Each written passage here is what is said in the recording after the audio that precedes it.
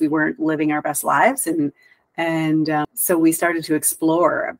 But the most important part of that exploration was actually diving into myself and and realizing that um, that I actually wasn't really living in my body. And and I wasn't doing the things that I actually wanted.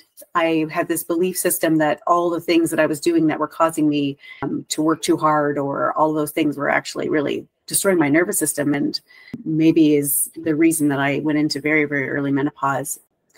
And so since then I've been really trying to bring all the stress, bring all the cortisol out of my my body. Like listening to you has helped me to recognize how very important that is. But but realizing that uh, that I was operating at a high level of stress all the time, and that I seemed to really like that. My nervous system seemed to crave it, um, and and recognizing that maybe there was something I needed to work on there. So just digging up all the things that uh, were causing me to subconsciously choose things that were causing me more frustration and pain so that I could then be able to say, oh, wait, I actually don't need to engage in that argument. It means nothing. Or, uh, or I really do just want to be home or I want to be cared for by my husband. I want rather than, than or you, or that, you want to care for your husband. Or exa- both of those things are true. Right. We'll exactly. Yeah. Yeah, exactly. But realizing that, you know, a lot of my beliefs have come from ex- outside of me and and starting to listen to what I really wanted and as opposed to listening to everything I learned in programming and the sitcoms and and movies that that give you this false idea of what reality is um, in a relationship was really important for me to recognize. One of the things that was brought to my attention several years ago was this concept of childhood wounding and and mm-hmm. how we we get wounded whether it's through real trauma or mm-hmm. perceived mm-hmm. trauma or emotional trauma and if it's not addressed and and dealt with in a proper way which is what parents are supposed to do uh, mm-hmm. they often don't because they're still manifesting their childhood wounding in adult life we we set these patterns of behavior up that they might be different on the surface, but it's playing out that same messaging. And we get accustomed to that where we don't really know any different. And so we just go through life recreating uh, different, different, like on the surface scenarios as we transition through life.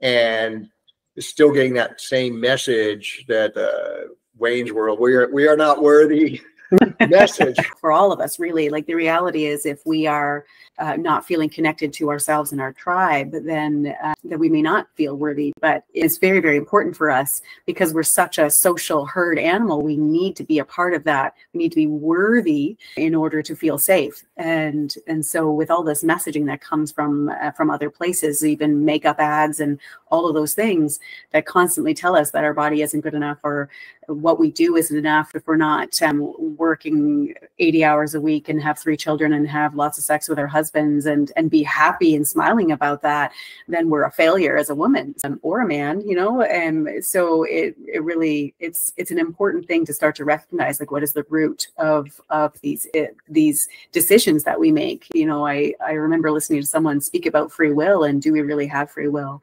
based on all of our life experiences we make decisions based on on all of those experiences. Um, so i think that as we start to recognize what our wounding is like you said then we can make more informed and better decisions for us. Yeah and, and the thing is because of this wounding and i see this play out with people especially especially with the in in the endurance market. I mean one of my mm-hmm. close friends we we talked a lot about this because of our own childhood stuff was very similar because of our cultural backgrounds. And like in endurance, we see this this bifurcation. It's it's a, it's a spectrum, but there's this clear bifurcation of you have people in ultra endurance who are successful in every truly successful in every vein of their life, and mm-hmm. so their endurance is just an extension of who they are. And then you mm-hmm. have these people who like their whole life is wrapped up in like I'm an ultra runner or I am an Ironman or I ride centuries. And it's like, what are you running from? It was actually really humbling when I really realized that I found you through endurance running and recognizing that I wasn't I wasn't running as effectively as I could when especially when this beautiful little fairy of a woman passed me like she was floating through the air and I was just trying to get through this 50 um, and i realized i started to dive into myself and it was really humbling when i realized that i was actually running away from myself this entire time and um, and I had to look at a lot of things. It's really the most powerful thing, Peter, to take take control and to look at yourself because it took me a really long time because I try I was trying to control the world around me, and I was trying to say, you know, in an effort to not look at my issues. But um, but once I started to realize, oh shit, I can actually really like if I look at this and I I realize that um, that if I just pause for a minute before I say something that might cause a fight, or if I if I just realize that I'm not trying to change someone else, I'm just I have an unmet need. And how can I meet that need myself instead of expecting it from other people? Um, and figuring out what those needs were was really the crucial part it was really the thing that I needed to to recognize is that when you feel, I believe, when you feel like you're not worthy, then you don't ask for things because if somebody says no, then it can be extremely devastating. And that is a strategy that uh, I know I certainly used, and I know I'm not alone in that. And so once I started to, yeah, once I started to realize that um, that I I could meet my own needs, but also that my husband, for instance, wanted to meet my needs.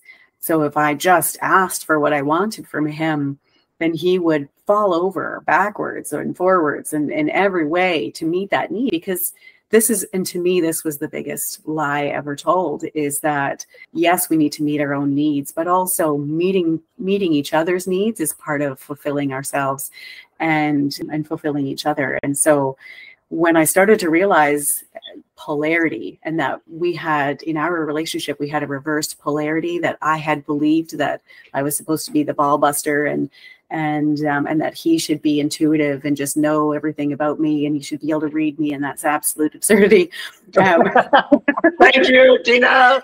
just not how you guys work or how we work either. No no no they're, they're, like i say in, in there's a reason why in most mammal species the males go off on their bachelor herds after the mating season yes.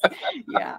Probably one of the simplest little things that I learned in my life that that helped to change how I felt in my relationship was reading a little book called The Queen's Code. And it just showed me how the way that I spoke to my husband actually really emasculated him and and it gave him like it took away his purpose like if i like if he came for instance it's just a simple fun little example like if he came into the kitchen and uh, I was jumping up on the counter because I'm five foot nothing to try and get something in a top cupboard. Um, and he would say, Can I get that for you? And if I just said, No, I can get it myself, that little act it it is it it kind of it cuts his balls off and it takes away his purpose he's five nine or five ten and he can reach the shelf and he can absolutely get that for me. And when he does and i just look him in the eyes and say thank you um, and i'm not stressing myself out trying to get the goddamn jar then things work a little bit more smoothly. But it takes a lot of reprogramming to realize that that is something that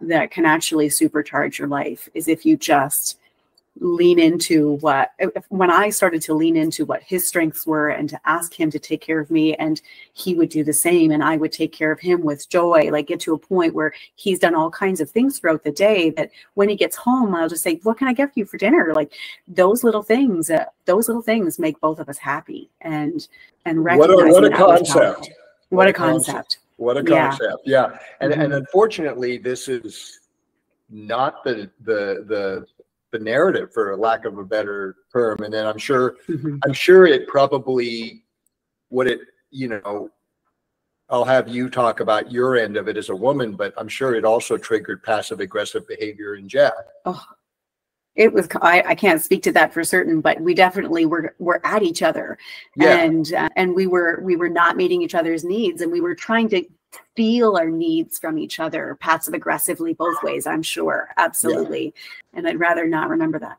But no no but it, it, it's, it's it's it's important to recognize it because yeah.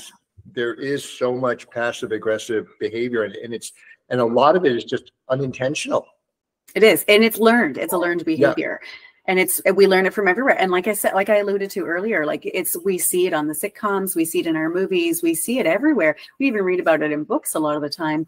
And it's it's programmed us to behave this way. And the profundity of recognizing that holy cow the everything that i've learned in the world is working against my physiology. And therefore is that the reason that i i had a, an extremely early menopause? And and everything in my life changed and it, that was a really profound experience for me to realize that nearly everything that i had had learned was maybe not as it seemed and so it's been a powerful relearning and remembering of of what it is that i want and and need yeah and, and so that creation of the sanctuary starts within. Yes. Yes. Yeah. Coming into myself and and recognizing what my wants were. I had shut myself down so effectively, I didn't even know what I wanted. And and sometimes when I actually and, and, and up, let me let me let me just stop you there. Mm-hmm. Hold that thought. Because yeah. once you get to that point, you're very susceptible to messaging. Yeah. Yeah, it's true. Yeah and hopefully i found the messaging i believe i found the messaging that i was open to that is actually good for me and my nervous system and my body and my family. And and I, I feel like it is. And the more that i speak to you the more that i learn from other mentors the more that i spend time meditating and listening to myself the, the more i think that this is the right path. So i i hope that more and more people start to actually listen to what their belly is telling them. I, like I, I've spent so much time with my belly in the last little while. I don't know about most ladies, but I, uh, I recognize that I have been trying to tune out of that belly for a really long time and learning to breathe into it and walk with it and use it as a tool has been really, really interesting. Um, but it's it's almost like I'm having to relearn this part of my body. But it's yeah. the, it's the part that I need to listen to the most.